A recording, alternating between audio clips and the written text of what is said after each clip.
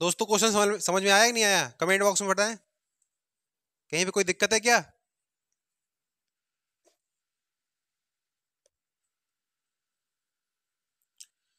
बताइए फटाफट comment box में।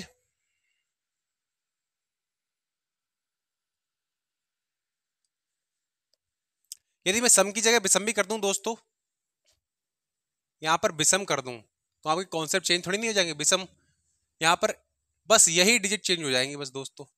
लैंग्वेज तो वही, तरीका तो वही होगा सॉल्व करने का। बस दिमाग अपना खोले रखना। दिमाग अपना खोले रखना सम संख्या विषम संख्या दो के अंतर से होती है।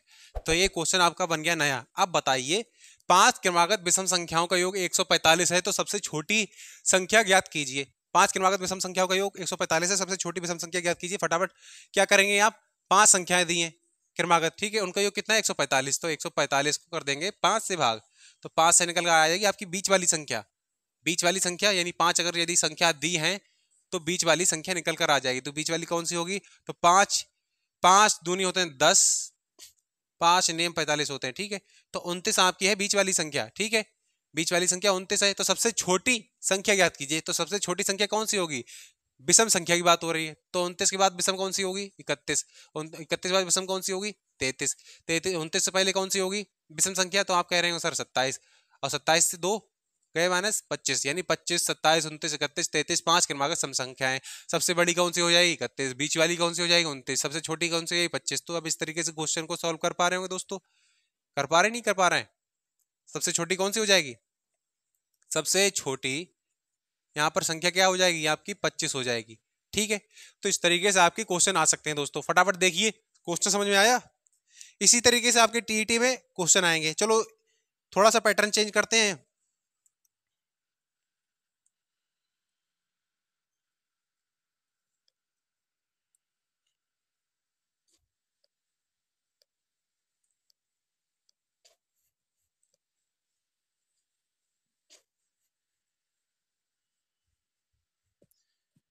दोस्तों क्वेश्चन आपका दे रखा होगा।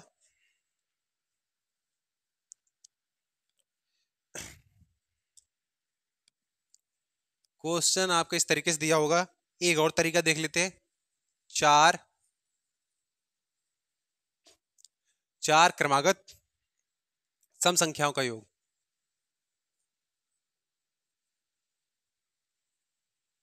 चार क्रमागत सम संख्याओं का योग। चार क्रमागत सम संख्याओं का योग। छत्तीस है दोस्तों। छत्तीस है। तो दोस्तों, कुछ दोस्त ऐसे होंगे हमारे। उन्होंने आंसर निकाल दिया होगा सभी संख्याओं को फटाफट। चार क्रमागत सम संख्याओं का योग कितना है? छत्तीस है। छत्तीस तीसरी संख्या याद कीजिए। तीसरी संख्या ज्ञात कीजिए। तीसरी संख्या ज्ञात कीजिए। कीजिए ज्ञात तीसरी संख्या क्या होगी? तो मैंने बताया चार क्रमागत संख्या की बात हो रही है? यहाँ पर योग दिया छत्तीस। तो छत्तीस को उठाकर लाएँगे। चार से डिवाइड करेंगे। चार नेम कितने होते हैं? छत्तीस।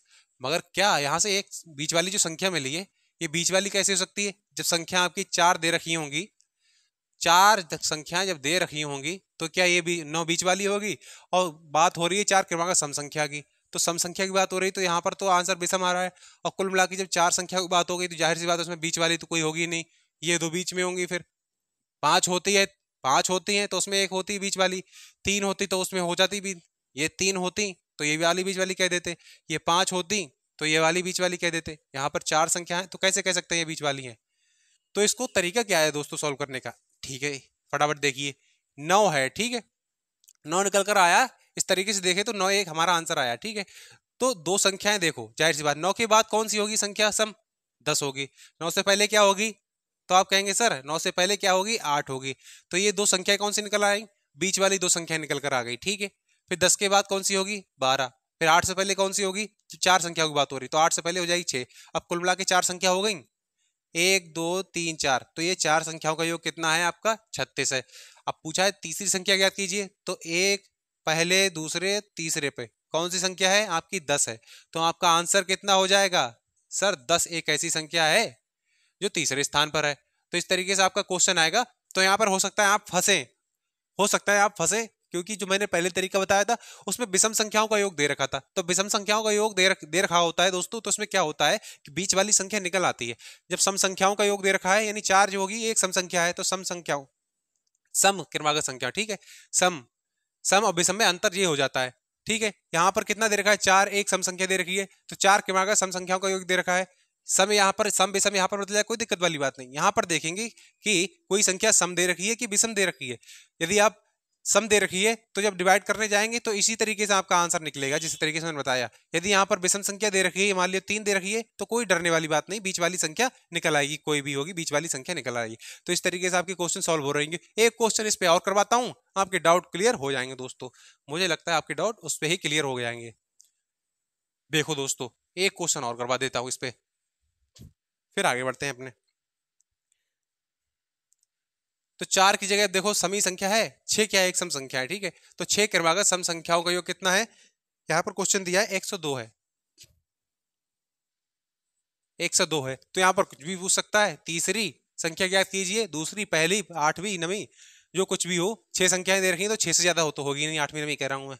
छह क्रमागत सम संख्याओं का योग 102 है तो तीसरी संख्या ज्ञात कीजिए। तो छह क्रमागत संख्याएँ कैसी होंगी? ज़ाहिर सी बात ये सभी छह संख्या कैसी होंगी? क्रमागत होंगी। तो मैंने कहा था 102 को सबसे पहले डिवाइड क्या करेंगे? छह से ठीक है? तो छह से जब डिवाइड करने जाएँगे दोस्तों कितनी, कितनी बार जाएगा? तो आपने कहा छह कम छह चार बचा छह सत्तो बयालीस यानी सत्रह चक्का कितने उसके एक सौ दो। मगर सत्रह तो एक क्या है? सम संख्या नहीं है। तो हमसे पूछा है सम संख्याओं का योग दिया रखा है तो सत्रह एक सम संख्या नहीं है। तो कैसे निकालना बताया था? सत्रह के बाद वाली क्या है? एक सम संख्या अठारह सत्रह से पहली वाली क्या है? एक सम संख्या है कितनी है? सोलह। अब दो के अंतर से ही सम संख्या होती है तो अठारह दो हो गए बीस और अठारह, बीस दो हो गए बाईस। सोलह से दो गए चौदह और चौदह छोटी सम संख्या बारह। तो बारह, चौदह, सोलह, अठारह, बीस, बाईस क्रमागत, छह क्रमागत सम संख्याएँ हैं, जिनका योग कितना है? एक सौ दो है। और तीसरी संख्या पूछिए तो तीसरी संख्या कितनी है आपकी? सोलह। तो यहाँ पर आपका आंसर कितना हो जाएगा? सोलह। तो इस तरीके से आपके क्वेश्चन सॉल्व हो रहे होंगे। बिल्कुल भी बीज गणती वेरिएबल वेरिएबल यूज़ करने की आवश्यकता नहीं है। डायरेक्ट आप क्वेश्चन सॉल्व कर रहे होंगे दोस्तों। और देखते हैं क्वेश्चन बेहतरीन बेहतरीन इनको निकालकर ठीक है? इतना उतार लेंगे दोस्तों।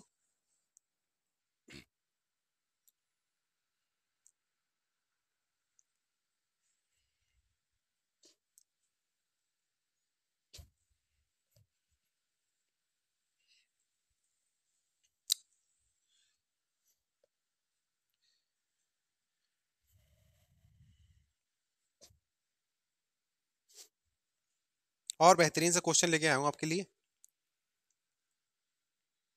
बिल्कुल टीईटी में ऐसे ही क्वेश्चन बनते हैं नॉर्मल से। आपको दे रखा होगा दोस्तों।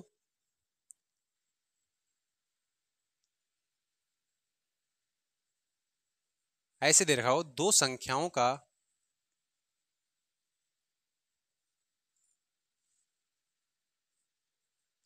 दो संख्याओं का योग कितना है दोस्तों? छियालीस है।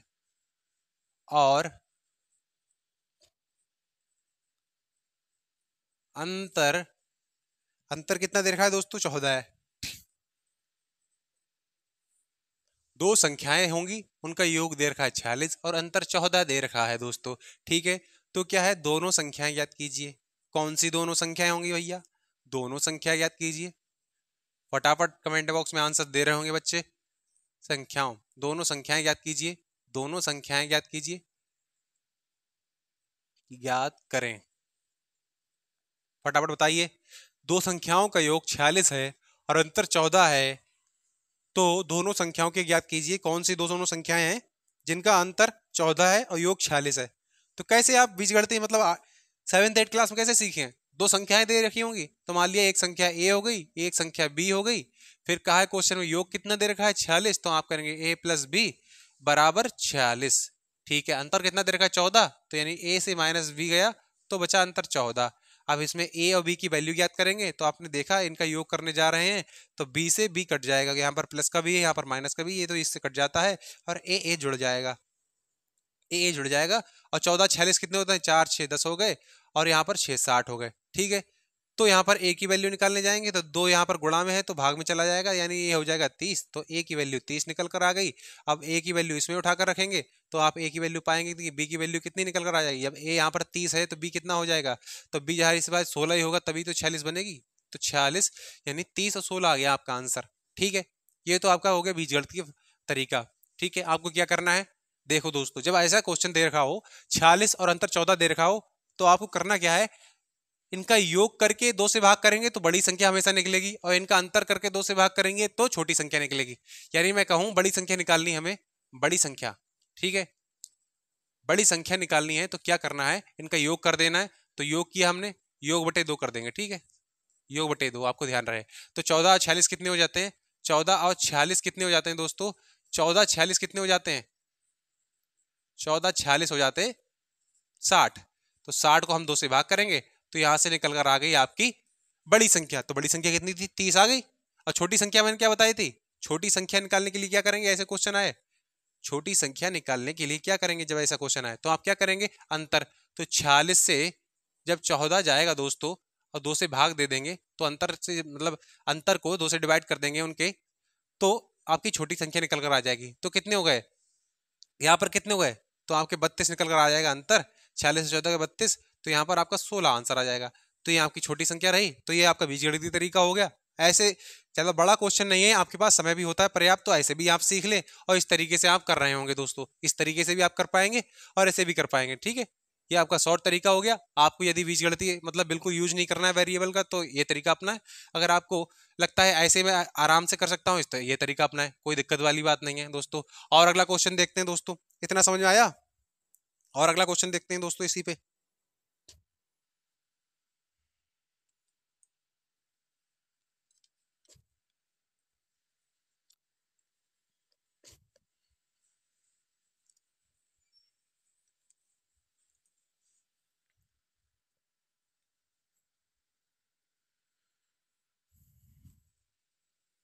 क्वेश्चन दे रखा है।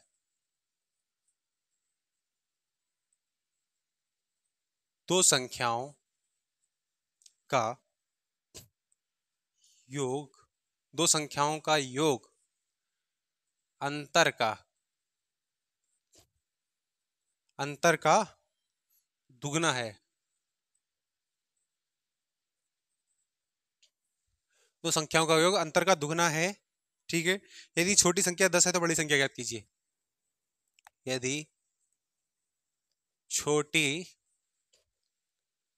संख्या दस है तो बड़ी संख्या ज्ञात करें। कैसे बनेगा क्वेश्चन? फटाफट बनाइए। दो संख्याओं का योग अंतर का दुगना है। अंतर का दुगना क्या है? दो संख्याओं का योग, ठीक है? यदि छोटी संख्या दस है तो बड़ी संख्या ज्ञात कीजिए। फटाफट लगा देंगे, दो संख्याओं का योग की बात कर रहा है, यानी मान लिया ए अभी दो संख्याएँ हैं, उनका योग की बात कर रहा है तो भैया योग हो गया, उनके अंतर की बात कर रहा है तो अंतर ये हो गया ए माइनस बी। तो अंतर का क्या है दुगना? योग क्या है? अंतर का दुगना है तो दुगना के लिए क्या कर देंगे? दुगना है भैया। जो योग है, वो अंतर के दुगने के बराबर है तो दोगुना कर दिया हमने अंतर और बराबर कर दिया ए प्लस बी, यानी योग के, ठीक है? बन गया, फटाफट ठीक है? तो क्या दे रखा है? यदि छोटी संख्या कितनी है? दस है तो बड़ी संख्या ज्ञात कीजिए। यदि छोटी संख्या दस है तो बड़ी संख्या ज्ञात कीजिए। तो छोटी संख्या कौन सी होगी इसमें? बी होगी। बी होगी, नहीं होगी? बड़ी संख्या निकालनी है ए की वैल्यू निकालनी है। तो ए प्लस दस टू ए माइनस दस। बी की जगह हमने छोटी संख्या जो थी, कितनी थी? दस है। तो ज़ाहिर सी बात है, बड़ी संख्या निकालने के लिए क्या करेंगे? हमने वैल्यू पुट कर दी, ठीक है? तो ये ए प्लस दस हो गया। इसे भी सॉल्व कर लेंगे तो ये टू और ए की मल्टीप्लाई टू ए हो जाएगा और दो और दस की मल्टीप्लाई दो के बीस हो जाएगा। तो जब हम दोस्तों सॉल्व कर रहे होंगे सॉल्व कर रहे होंगे तो यहाँ पर टू है, यहाँ पर ए है। ए को उधर ले जाएँगे तो टू ए से ए चला जाएगा। दोस्तों, बहुत सी बेसिकली रूल होते हैं बेसिक से रूल होते हैं समीकरण सॉल्व करने के। यदि हम संख्याओं को बराबर से, बराबर के साइन से संख्याओं को यदि विपरीत दिशा में ले जाते हैं दूसरे पक्ष में ले जाते हैं तो उनके साइन चेंज हो जाते हैं। यहाँ पर ए प्लस का था तो वहाँ पर माइनस का हो जाएगा। तो बिल्कुल बेसिकली मैं बता दूँ टू ए माइनस ए हो जाएगा। टू ए माइनस ए ए को उधर ले गए तो ए माइनस हो गया। अब दस को क्या? बीस को इधर लेकर आएँगे, ठीक है? तो दस तो पहले इधर था ही प्लस का, अब बीस को इधर लेकर आए तो वो भी प्लस का हो गया, क्योंकि ये माइनस का था, ठीक है? साइन चेंज हो जाएगा। तो यहाँ पर ए की वैल्यू कितनी निकल कर आ जाएगी? दस और बीस कितने हो गए? टू ए से ए चला गया तो तो ए बच गया। दस और बीस कितने हो गए? तीस हो गए दोस्तों। तीस हो गए। तो इस तरीके से हम कह सकते हैं कि तीस एक वह संख्या है, तीस एक वह संख्या है, तीस एक वह संख्या है, तीस दो संख्याओं में बड़ी संख्या है जिसका अंतर का दुगना है। ठीक है? अब देखो यहाँ पर दस क्या हो गई? छोटी संख्या। और तीस क्या होगी? बड़ी संख्या। इनका अंतर कितना है? बीस है। ठीक है? तो यहाँ पर देखी जाए आपकी लैंग्वेज क्या दो संख्याओं का योग क्या है? अंतर का दुगना है। अब इनका योग देखें, अंतर कितना हो गया? बीस। और योग कितना हो जाएगा? तीस और दस का। तीस और दस का योग कितना हो जाएगा? यदि ऑप्शन दे रखे हो तो उससे फटाफट आप कर पा रहे हो दोस्तों। यदि इनका अंतर देखें तो दस हो गया। यही तो कह रहा था, अंतर का दुगना है। अंतर का दुगना है। अंतर का दुगना है। तो अंतर का दुगना है नहीं है? अंतर का दुगना है? योग देखो यहाँ पर। योग क्या हो गया? दस तीस और दस हो गया चालीस और बीस हो गया अंतर। तो बीस दूनी चालीस अंतर का दुगना है। तो ऐसे क्वेश्चनों को वैसे ऑप्शन से करते हैं दोस्तों सॉल्व ऑप्शन आपको एग्ज़ाम में दे रखे होंगे तो उससे अच्छी तरीके से सॉल्व कर पा रहे होंगे। नहीं तो ये तरीका अपना है दोस्तों। नहीं तो यह तरीका अपना है दोस्तों। और क्वेश्चन लेते हैं दोस्तों फटाफट। बहुत ही बेहतरीन बेहतरीन क्वेश्चन लेके आए दोस्तों आज मैं। एक स्टाइप से मिल जाएगा और एक तरीके से मिल सकते हैं क्वेश्चन दोस्तों आपको। भाग पर आधारित प्रश्न ऐसे हो सकते हैं आपके। बारह में बारह में किस संख्या से भाग दें?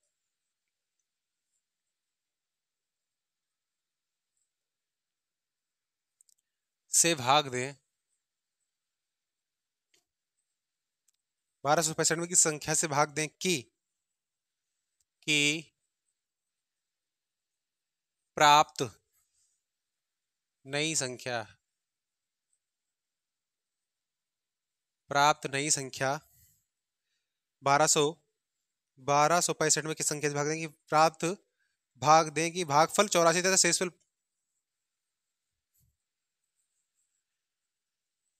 भागफल, चौरासी, तथा शेषफल कितना हुआ आपका?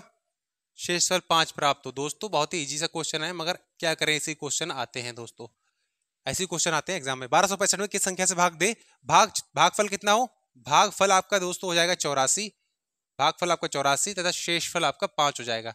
तो मैंने बताया था, जैसे नॉर्मली मैं कहूँ कि किसी संख्या को, जैसे दो है दो से हम पाँच को भाग देने जा रहे हैं तो दो दो नहीं कितने होते हैं? चार तो आप यहाँ पर कहते हैं, दोस्तों, एक शेषफल बच गया, दो यहाँ पर भा, दो, पाँच यहाँ पर भाज्य, दो यहाँ पर क्या है? भाजक, और दो क्या है यहाँ पर? ये वाला भागफल। तो इनका फॉर्मूला क्या बन जाता है? यदि हम पाँच को क्या लिख सकते हैं? पाँच को इस तरीके से लिख सकते हैं, दो गुड़ा दो प्लस एक, ठीक है? तो यहाँ पर हमने शेषफल को अंत में जोड़ा है, और भाजक भाजक और भागफल की गुणा होती है, तब भाज्य निकल कर आता है। तो यहाँ पर आपका क्या दे रखा है? यहाँ पर आपका दे रखा है भाज्य, यानी बारह में। यानी बारह सौ पैंसठ क्या एक ऐसी संख्या है, जिसमें हमें भाग देना किसी संख्या से भाग दें कि भागफल चौरासी है तथा शेषफल पाँच प्राप्त हो। यदि मैं इसे वेरिएबल मान लूँ, यदि मान लिया ये डिवाइड ये होता डिविडेंट ये आपका होता भाज्य भाज्य कोई संख्या होती जिसे हम भाग देने जा रहे हैं, और डी क्या होता? डिवाइजर एक भाजक, ठीक है, ये दो की जगह भाजक ले गया और यहाँ पर भागफल कितना हो जाता आपका? क्यू हो जाता और रिमाइंडर आर हो जाता। तो इस तरीके को हम जब संख्याओं को पुट करेंगे तो इस तरीके से हम सॉल्व कर पाएँगे। तो दोस्तों, यहाँ पर देखें भागफल कितना दे रखा है? भागफल दे रखा है दोस्तों चौरासी, ठीक है? और शेषफल कितना दे रखा है? पाँच दे रखा है। और डी यानी भाजक निकालना है, क्योंकि किस संख्या से भाग दें? तो भाजक निकालना ज़ाहिर सी बात है। तो किस संख्या से भाग दें? तो मान लिया एक्स से भाग देंगे तो हमारा शेषफल पाँच प्राप्त होगा, ठीक है? और डी दे रखा है यहाँ पर बारह सौ पैंसठ। बारह सौ पैंसठ क्या है आपका? डिविडेंट यानी कहूँ क्या? भाज्य एक ऐसी भाज्य संख्या है। बारह सौ पैंसठ क्या है, भाज्य एक संख्या है, ठीक है? एक्स क्या यहाँ पर हो जाएगा? भाजक। और चौरासी आपको दे रखा है, भागफल। और शेषफल पाँच दे रखा है। हमने बस वैल्यू पुट कर दी दोस्तों। अब देख रहे हैं कैसे सॉल्व होगा। अब एक्स की वैल्यू निकाल लेंगे यहाँ से। तो यहाँ से ज़ाहिर सी बात है, पाँच जो है प्लस का है तो सबसे पहले इधर आएगा माइनस का बन जाएगा। तो पाँच यानी बारह सौ पैंसठ में से पाँच जाएँगे दोस्तों इधर से, ठीक है? तो इधर कितना बचेगा? एक्स गुणा चौरासी बचेगा। बारह सौ पैंसठ से पाँच गए तो आप कहेंगे बारह सौ साठ बच रहे हैं दोस्तों। यदि मैं इसे ऐसे भी लिख लूँ एक्स प्लस एक्स इंटू चौरासी। ठीक है? हमें एक्स की वैल्यू निकालनी है तो एक्स यहीं ले एक्स को यहीं रोकेंगे और चौरासी को बटे में ले जाएँगे दोस्तों।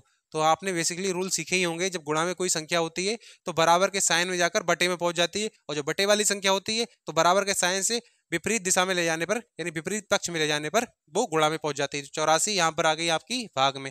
अब चौरासी से भाग दे रहे होंगे। चार दूनी आठ, चार एकम चार। चार तिया बारह और चार एकम चार बचे दो, चार पंजे बीस दोस्तों। इक्कीस बचे यहाँ पर।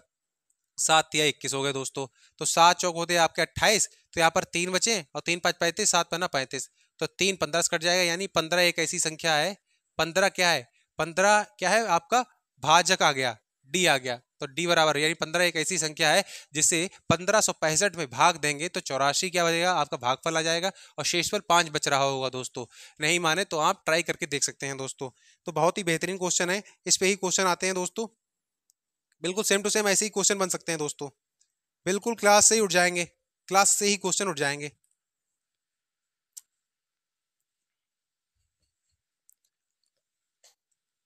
आज पूरी क्लास क्वेश्चन को सॉल्व करने के लिए बनाई है। कोई आज नया तरीका नहीं सिखाया जाएगा। क्वेश्चन को सॉल्व करना है दोस्तों, बस आपको। क्वेश्चन दे रखा है दोस्तों। किसी संख्या में पंद्रह से गुणा करें। किसी संख्या में पंद्रह से गुणा करें करने पर। किसी संख्या से पंद्रह से गुणा करने पर ऐसी संख्या प्राप्त होती है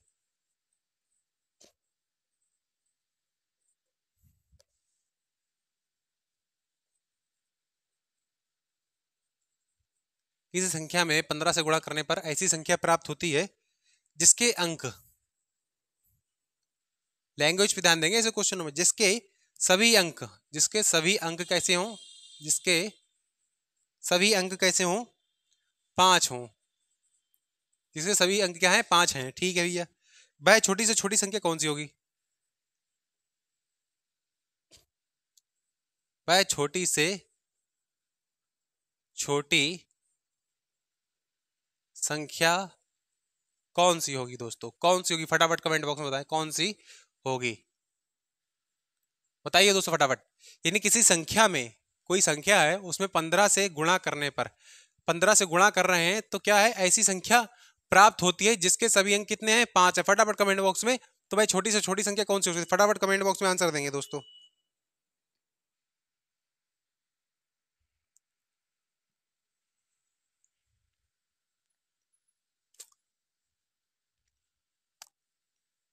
देखो दोस्तों तरीका क्या है सॉल्व करने का? लैंग्वेज को पकड़ेंगे लैंग्वेज को। कह रहे किसी संख्या में, कोई संख्या है, ठीक है?